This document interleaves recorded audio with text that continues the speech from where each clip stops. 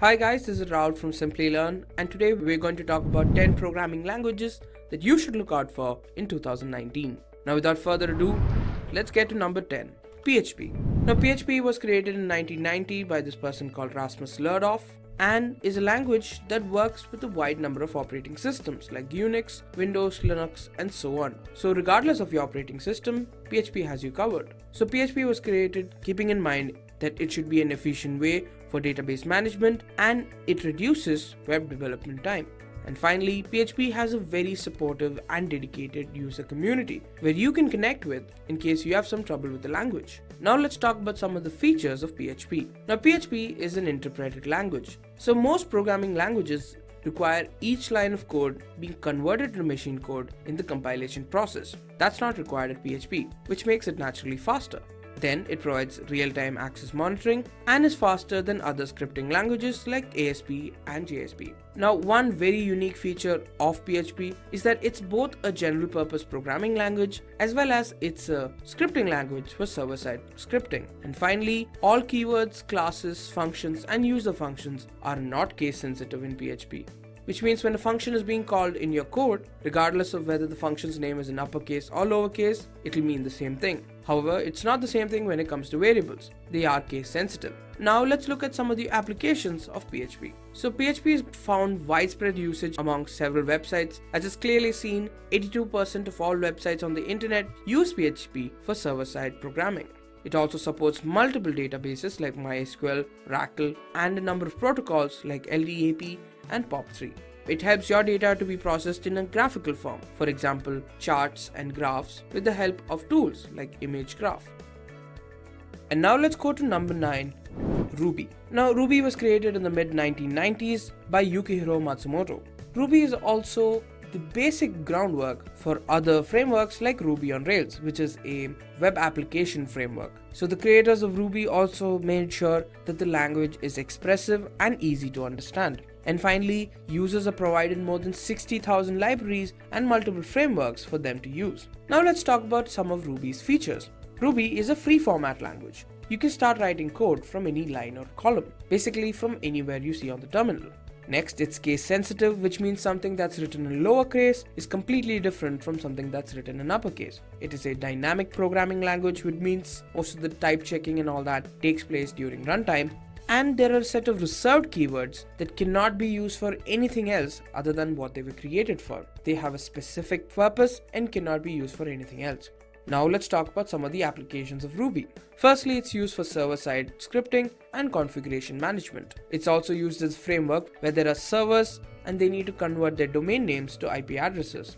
It's also used in embedded systems in mending machines, industrial robots, and network routers. And finally, it is also used for creating native applications for the iOS and the Android operating systems. And now let's have a look at number 8, Scala. Now Scala was created in the early 2000s by Martin Odersky. Now, Scala supports both object-oriented and functional programming. With object-oriented, the main emphasis is on objects, which is a combination of data and the functionality that's acting on the data. With functional programming, like the name suggests, the main emphasis is on the functions rather than the data. You can do both with Scala. Now, Scala was designed to solve the problems that were faced by Java. For example, one common complaint is that Java is very verbose or has a lot of lines of code. If a particular program required 20 lines of code to complete in Java, Scala would be able to do it in much lesser but a slightly more complicated version of the same lines of code. Users also have access to the features of the Java virtual machine and several Java libraries. Now let's have a look at some of the features provided by Scala. Firstly, it's a statically typed language, which means that once you set a type for a variable, you can't change it again. It can be compiled into Java bytecode and executed in the Java virtual machine. As it requires fewer lines of code, it helps speed up development, testing, and deploying your application. And finally, it has a steeper learning curve than other programming languages, which means it's slightly more complex and requires slightly more effort to understand. Now let's talk about some of the applications of Scala. It is used extensively in Apache Spark, which means it's used for data analysis and other machine learning algorithms. It is used to create web applications and services and helps improve runtime stability, performance, and the overall developer productivity. Now, let's have a look at number 7 R. R was created in 1992 by Ross Ihaka and Robert Gentleman. So, R is an open source programming language, which means that you can access the source code and perform any modifications you require on the language. It provides an environment for implementing statistical techniques. R is a commonly used language when it comes to mathematical applications and it can be compiled on a wide range of operating systems, be it Unix, Windows, or Mac OS. Now let's talk about some of its features. R has a wide range of tools that can be used for data analysis, which is one of the more common use cases of R. R supports object oriented programming as well as procedure oriented programming, which means depending on your situation, you can use either. It provides data handling and storage facilities and is an interpreted language just like PHP as mentioned before and can be accessed through a CLI or a command line interpreter. Now let's talk about some of the applications of R. First, it can be used for statistical computing and graphics. You can make plots or graphs or charts with mathematical symbols and formulae. It can be used for data importing and cleaning, for sales forecasting, sentiment analysis, cancer detection, and so on. Now let's have a look at number 6 the programming language Go. Go was created in 2007 at Google. Go reportedly works faster than most programming languages in the market right now. It has a strong standard library which provides a wide range of options for its users and created by developers who have a shared dislike for C++, mainly because they felt that C isn't fast enough and needs to be faster. Now, let's talk about some of the features of Go. Now, Go has built in systems which make sure that testing is made a whole lot easier. They have inbuilt testing support. With this, it aims to improve programming productivity, so it also provides easier memory management as compared to other programming languages like C and C++. And finally, the code in Go is compiled into machine code, which makes it much faster to execute as compared to other programming languages. Now let's talk about some of the applications of Go.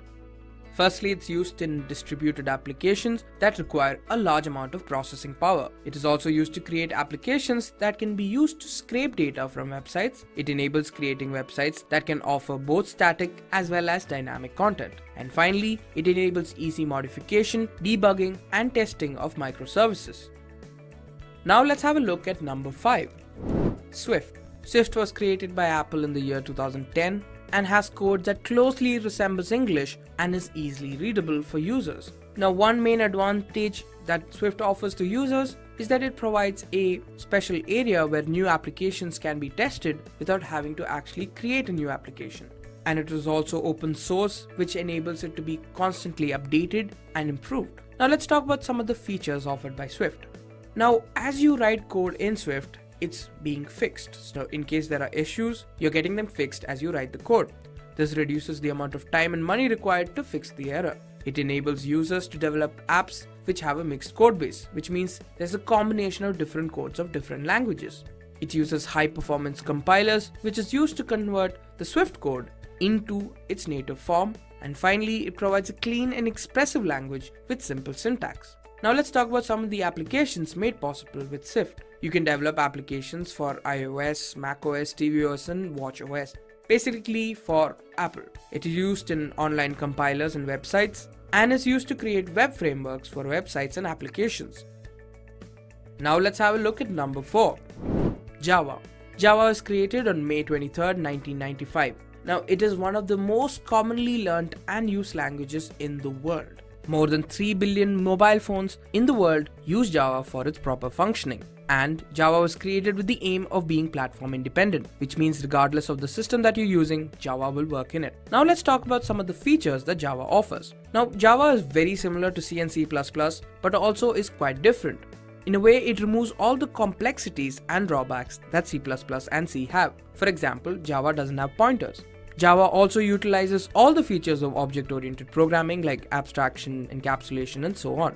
The security systems in Java are built into the language and runtime systems. And finally, the code in Java is converted into bytecode and allows it to be run in any other system as long as that system has Java in it. And now let's talk about some of the applications made possible with Java. Now, applications for Android phones are made possible with JDK or the Java Development Kit. SIM cards, utility meters, televisions also use embedded Java technologies within them. It is used for web applications with the help of servlets, struts, and JSPs, and is used for writing applications that involve mathematics or complex scientific calculations. And now let's have a look at number 3 C Sharp.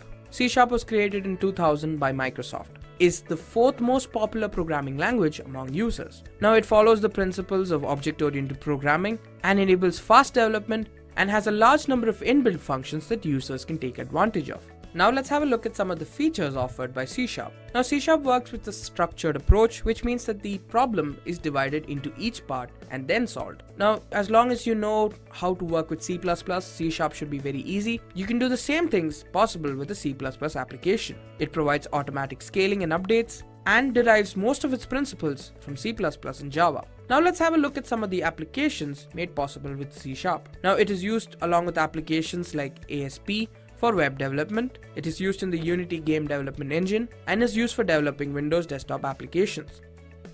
And now for number 2, JavaScript. JavaScript was created on December 4, 1995 and provides users with the option to select both functional or object-oriented programming methodologies. So depending on the user's requirement, they can choose either. It provides both server-side as well as front-end coding. And as long as you know JavaScript, you can handle any layer of a web application. Now let's talk about some of the features of JavaScript. It's a simple language that users can learn and implement with great ease. It provides a rich and detailed interface for websites. It can also be used in combination with other programming languages like Perl and PHP and enables websites to provide increased functionality. Now let's talk about some of the applications of JavaScript. This allows users to create web pages and applications. It is used to create small scale games and applications as well it enables users to add text boxes and other components to websites on the go. And finally, we are at number 1. It shouldn't be any surprise because it's Python. Python was created in December 1989 and has easier syntax as compared to other programming languages like Java. It has a very dedicated and supportive community that can ease any of your problems and it's designed with the perspective of the developer, which means the initiative is developer first. Now let's talk about some of its features. It's very easy to understand, simple and minimalistic. Now it supports procedure-oriented programming as well as object-oriented programming. It also provides scripting capabilities when embedded with other programming languages like C or C++. With the help of dynamic programming offered by Python, executions are also made a whole lot easier. Now let's have a look at some Python applications. It is used for scientific as well as numeric computing, for example with the help of libraries like SciPy, Pandas and so on. It is used for image processing and graphic design applications. It plays a very important role in Linux distributions and is used for creating web applications and frameworks. And with that, we've reached the end of another video. I hope you guys found this informative and helpful. Thank you for watching and stay tuned for more from Simplilearn. Hi there, if you like this video, subscribe to the Simplilearn YouTube channel and click here to watch similar videos. To nerd up and get certified, click here.